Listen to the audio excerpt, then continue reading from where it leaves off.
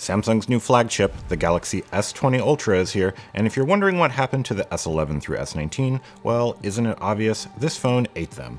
It's a monster, with a camera bump to match. Inside that camera bump, you've got a 108 megapixel sensor and another camera with a 100x zoom, which is pretty useful, I guess. All the hardware specs are insane, but our favorite has to be this screen with its 120Hz refresh rate.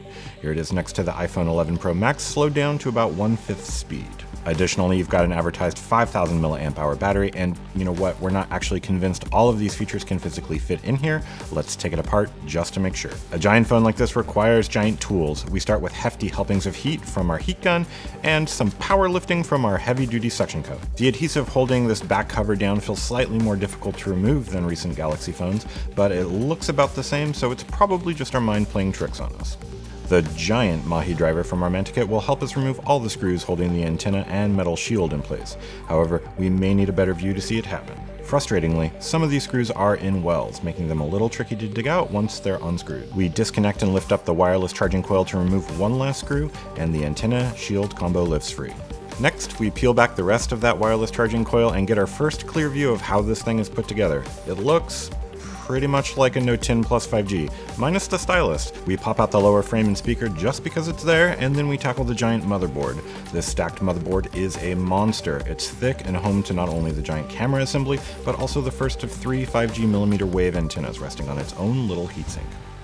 The camera assembly features a 48 megapixel telephoto camera, a 12 megapixel ultra wide camera, and the monster 108 megapixel wide angle camera, which has a sensor about double the surface area of the iPhone 11 Pro Max's primary 12 megapixel wide angle sensor. There's one other item of interest found in the camera assembly, this light bending periscope. At one end is a prism with its own optical image stabilization, which redirects the image 90 degrees through the sliding 4x zoom lens. That, combined with some sensor cropping and digital zoom, gets you to 100x magnification.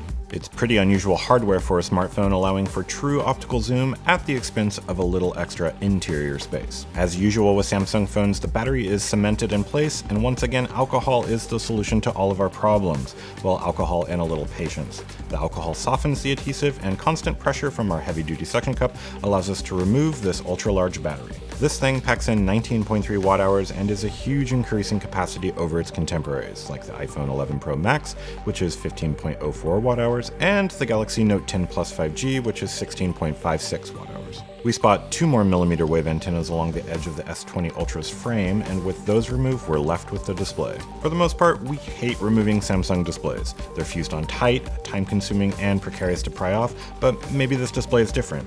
No, it's not. This 6.9 inch AMOLED display may have a super fast refresh rate, but it's painfully slow to replace if you crack your screen. For all the amazing advances in this phone, about the only thing Samsung didn't level up is the repairability. We're scoring it a 3 out of 10, which is pretty average by galactic standards. Samsung has the means to do better here, but they've stuck with the same glued together design that's frustrating to open and makes basic screen and battery repairs frustratingly difficult. The S20 Ultra is not without some positive points though. You only need a single screwdriver and unlike S10 models, the charging port isn't soldered to the main board. If you could repair the last Samsung phone, you'll be able to fix this one.